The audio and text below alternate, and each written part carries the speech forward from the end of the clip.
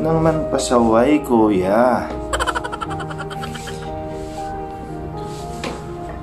Dito sa Saudi, nagkaroon kami ng permit. Kaya kahit na may curfew, may lockdown, nakakapagtrabaho kami.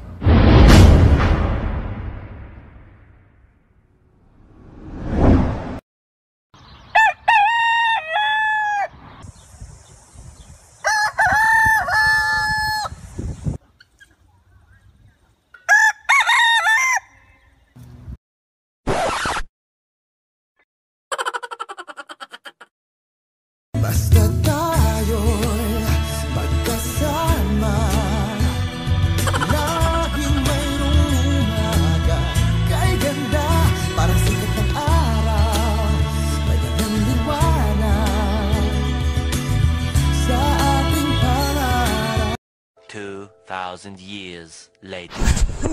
Lamig!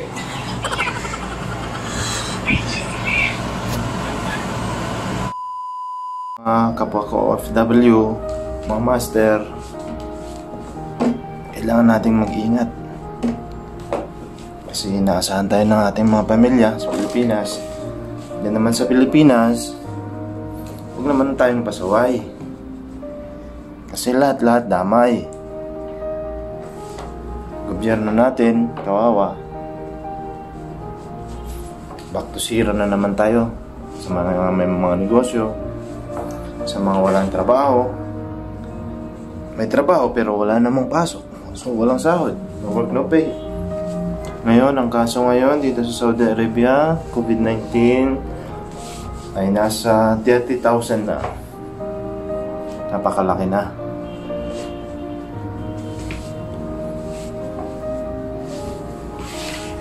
May balita ako na limang Pilipino na rin ang namatay dito sa, sa, dahil sa sakit na COVID. Napakalungkot isipin pero talagang mangyayari kasi yung iba wala ding concern. Hindi rin sila marunong mag iingat sa sarili nila. Yung iba nadamay na lang.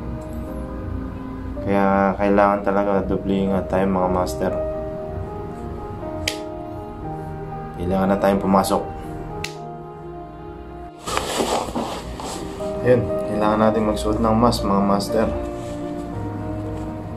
Bago lumabas ng bahay.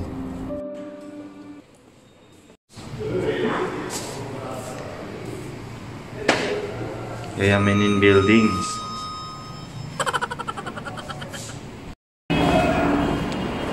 Kailangan bago mag-12 nasa trabaho na.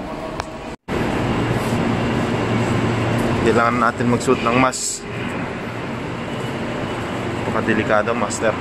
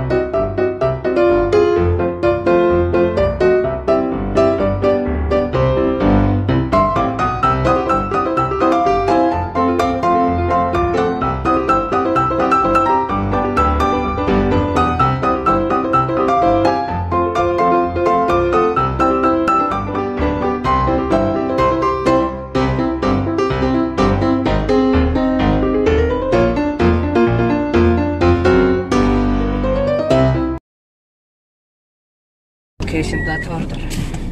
Ayun mga master, uwian na naman. A few moments later. Ayan po, ulam natin, opo. Pinakamagalang sa lahat ng gulay. Paano masabi?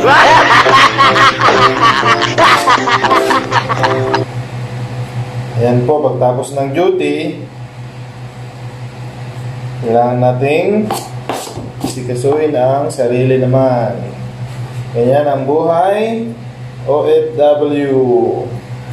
Saudi pa more.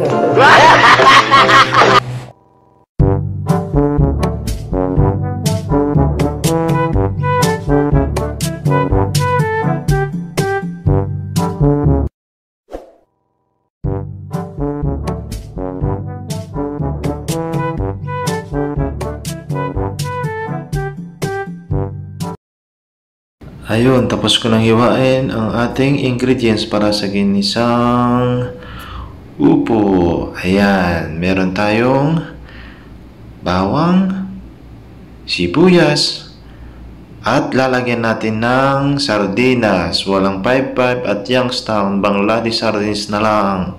Walang pera. Ayun mga master, nalagyan na natin ng bawang. Bawang.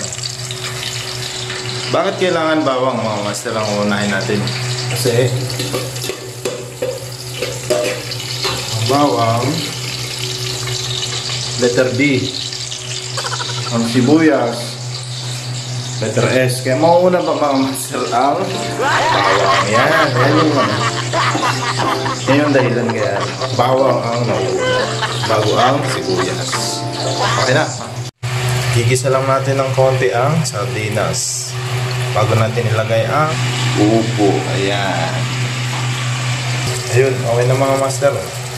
Lagay na natin ang upo, yung gulay. Ayan. Tapos maglagay, ilagay yung upo mga master. Kailangan natin ng kahit na isang basong tubig lang. Kasi magsasabaw pa yan mga master. Ayan. Sasabaw pa yan mga master. Pwede na natin ilagay ang ating ricado. Ingredients baga. Ang chang-e. Maglalagay tayo ng konting chang-e. Chang-e, konti lang ha. Fish sauce. Also known as patis. Konti lang mga master. Para hindi gaano mahal. Hop! Hop! Okay na. Tapos lagyan natin ng konting paminta. Konting pamintang duro. Yan mga master. Konti lang.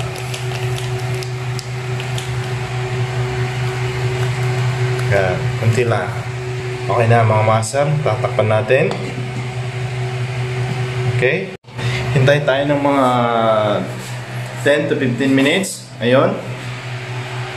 Pwede na tayong kumanta. Yo! Love is like lights up my whole world.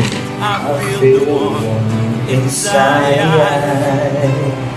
Your love is like the river that flows down to my veins.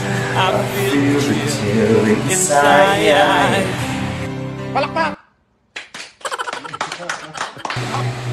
So yun mga master, luto na ang ating ginisang upo na may sardinas. So, kain muna tayo master, gutom na.